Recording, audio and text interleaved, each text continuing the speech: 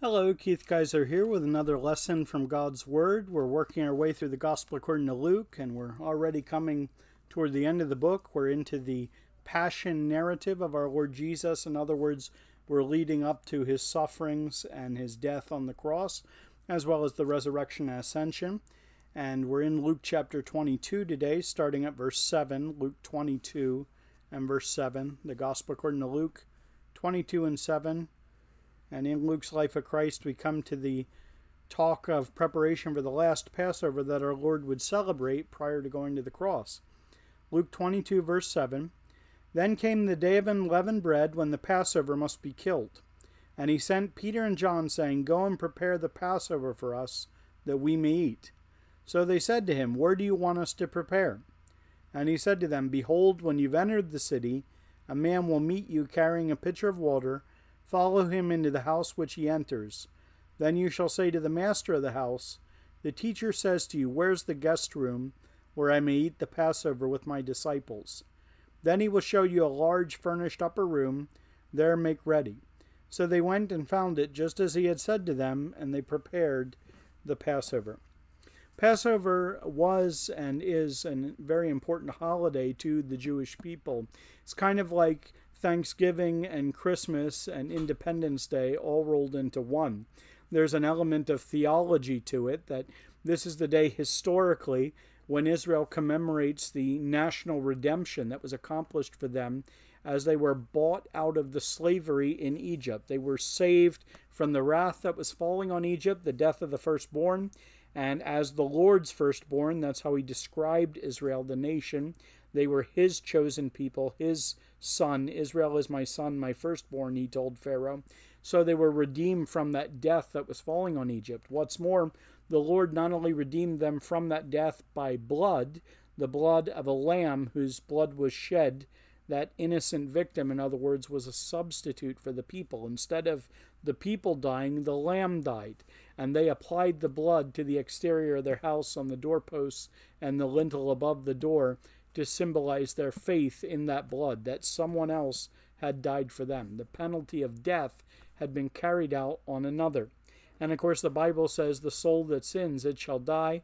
It says, The wages of sin is death. We know that death came into the world through sin. Death, not only physical death, but spiritual death, being separated from God, not knowing God, being in darkness, being alienated in our minds, and at enmity with God. These are all ways the Bible describes that condition of spiritual death, which we're all in because we're all sinners. Until we come to know the Redeemer, until we have that redemption applied to us, the death of Christ on the cross for us, we don't know the Lord in whom we have redemption through his blood, the forgiveness of sins according to the riches of his grace, Ephesians 1 7 says. And 1 Corinthians 5, verse 7, looks back to this feast and calls Christ our Passover. So the believer looks back and says, Yes, he was the Redeemer for that nation of Israel. They were saved from the wrath falling on Egypt at that time. What's more, God saved them the next day as they went through the Red Sea, and they were saved from the power of Egypt, from that slavery and bondage that they were in. And likewise, we've been saved from the dominion of sin, Romans 6 says, now to walk in newness of life, now to have a new master, even the Lord, who has put his spirit into believers to begin sanctifying us, to prepare us for heaven, and also conform us to the image of his Son. And that entails becoming morally and spiritually like Christ. Of course, the moment we believe on the Lord Jesus Christ, the Lord Jesus said in John 5:24, we pass from death unto life.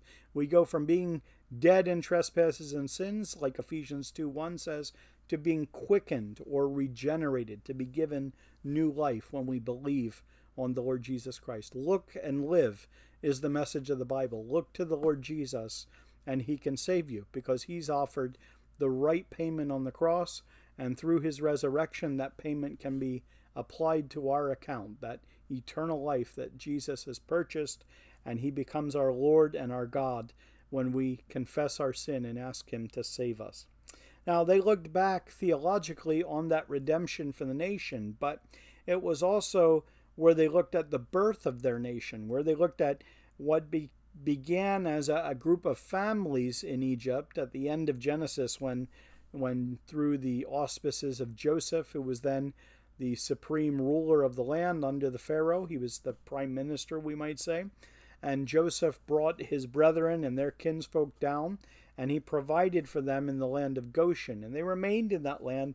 And Exodus tells the tale in the early chapters of how they were eventually enslaved because the Egyptians began to fear them. So prosperous and numerous they became that the Egyptians in, enslaved them in the fear that they'd be a fifth column within the society. In other words, they would be those ready to collaborate with Egypt's enemies in case of attack. And so, the same way the United States in the 1940s grew afraid of Japanese Americans, the so called Nisei, the second generation, the children of immigrants who were loyal Americans. And yet, because we were at war with Japan, there were people in our government who thought uh, these folks are a security risk and they're a danger to the country.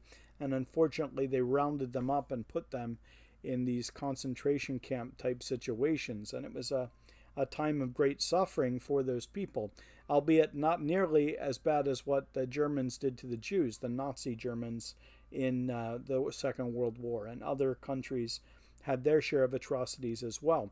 But it just shows us how there can be this psychology, this thinking that someone is a potential threat to us politically or physically, and so we're going to get them before they can get us. In fact, uh, some other Nisei who were allowed to join the United States Armed Forces became among the most decorated soldiers of the Second World War. So they proved their loyalty, and uh, the fact that many of these uh, uh these people, when they were released from captivity after the war, they went back to being what they had been before honest American citizens who built up this country, and some of them later served high up in government as senators and congressmen in different positions like that.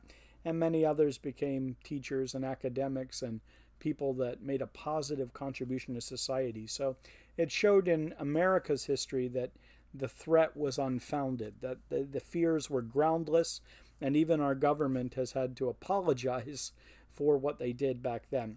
Well, Egypt did the same thing, and that was pretty much par for the course in the ancient world. Uh, to enslave another people didn't make anybody blink. But the Lord said, Let my people go. And the Lord redeemed them.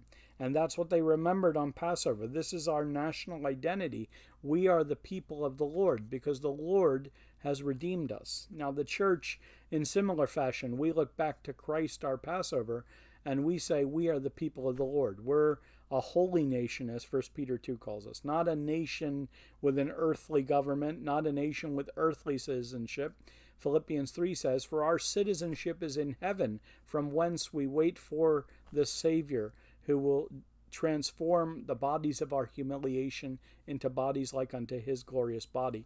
So, Christians, we may be citizens of America or Great Britain or Canada or some other country of the world, but our chief citizenship is the spiritual one. We say we must obey God rather than man. Now, normally obeying God entails being a good citizen. And the Lord told his people, as we've seen in Luke, to pay their taxes. Uh, he told them to show proper honor and respect, and the epistles unpack that and say that we should pray for our leaders and the powers that be especially that they would come to a knowledge of the truth, especially that they'd come to believe in Jesus Christ as their Lord and Savior.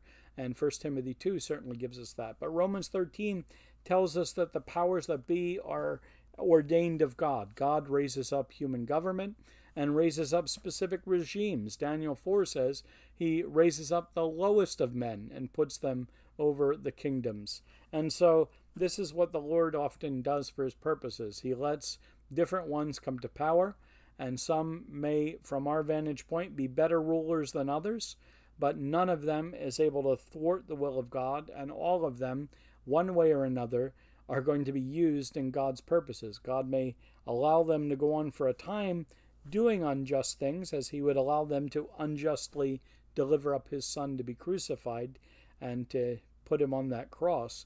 But we see that it was God's purpose, that God allowed that evil to transpire that he might do something greater, that he might make the Lord Jesus our Passover, the Lamb of God who takes away the sin of the world, as John 1:29 says of him.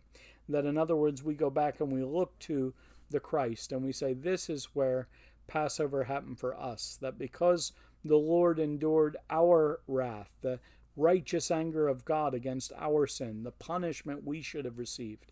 The Lord took our guilt and took our penalty, the punishment we deserved. And he suffered all of that on the cross of Calvary in the three dark hours that man was not permitted to see. And the Lord said, My God, my God, why hast thou forsaken me? Because God, acting as the righteous judge of the universe, did not have mercy on his son in that moment. He laid on him the iniquity of us all, as Isaiah 53 says. And 1 Peter 2 describes it, saying, He bore our sins in his own body on the tree. One of our hymns says, All thy sins were laid upon him. Jesus bore them on the tree. God, who knew them, laid them on him. And believing, thou art free. Yes, if we believe that, that the Lord Jesus loved me and gave himself for me, that he died in my place, that it was for my sins that he endured this. And I don't want to go on independently of him and independently of his will. I want to bow and acknowledge him as my Lord and my God and to thank him for saving me and receive him as my Lord and Savior. He says, I shall be saved. And then I can say, Christ, my Passover, has been sacrificed for me. Well, coming to this day of Passover, the Lord, as a devout Jew, a man born under the law, as Galatians 4 4 reminds us. He sent Peter and John to prepare the Passover. There were certain practical things that had to be done in order to prepare that Seder meal that they were going to enjoy. And so he said, Go prepare the Passover for us that we may eat. But they asked him, quite naturally in verse 9, Where do you want us to prepare?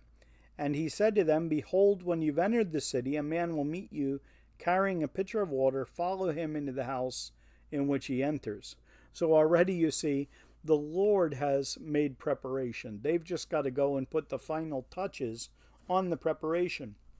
And this really is a good picture of any kind of service for the Lord.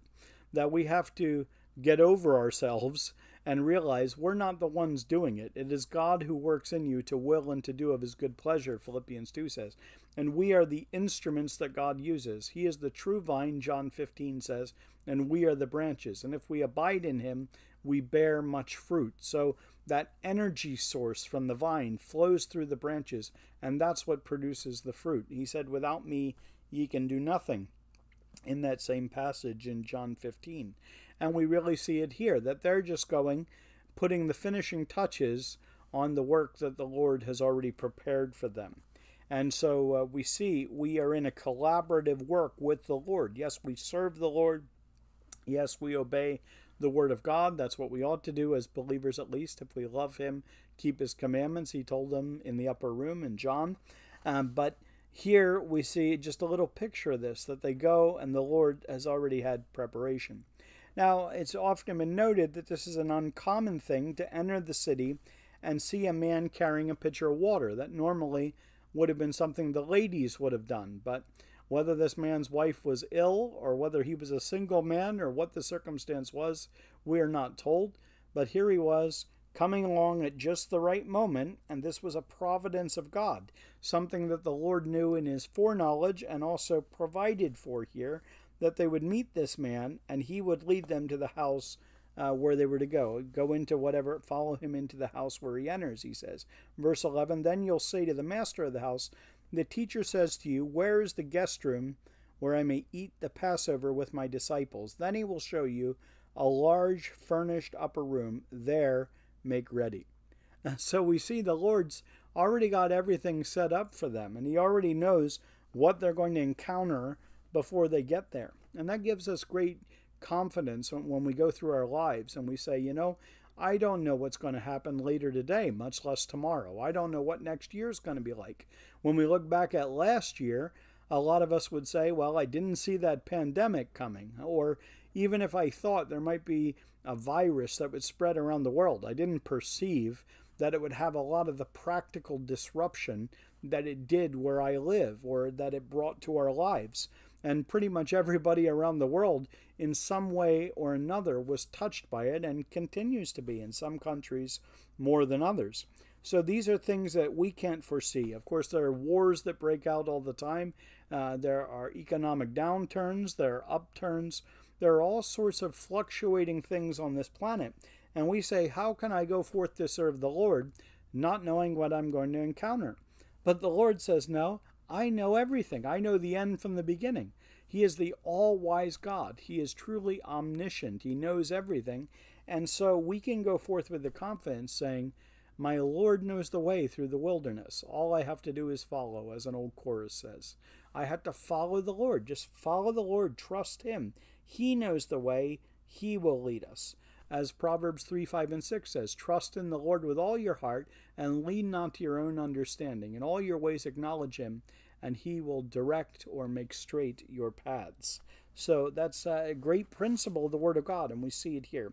And of course, verse 13 is confirmation. So they went and found it just as He had said to them, and they prepared the Passover.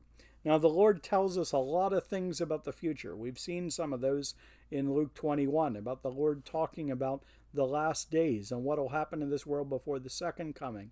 And I can tell you what the Lord Jesus told us about the future, whether it was the near future in his times or whether it's the extended future.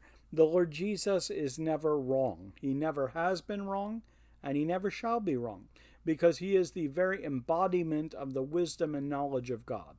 And he is one who, when he tells us something, we can take that to the bank, so to speak. We can put our confidence in it because the Lord knows what's going to happen. And that gives us great confidence. Not just that he knows what's going to happen, but that he's working in the world to accomplish his purposes. As Ephesians 1:11 says, he works all things after the counsel of his own will. So may we have great confidence as we serve him, that he's in control, that he knows, and that he can guide us if we're listening, if we're looking to him. He'll show us the way. He'll open and close the right and wrong doors, respectively, and we will know his power as he uses us to serve him. Thanks be to God for the Lord Jesus Christ. Thank you for listening.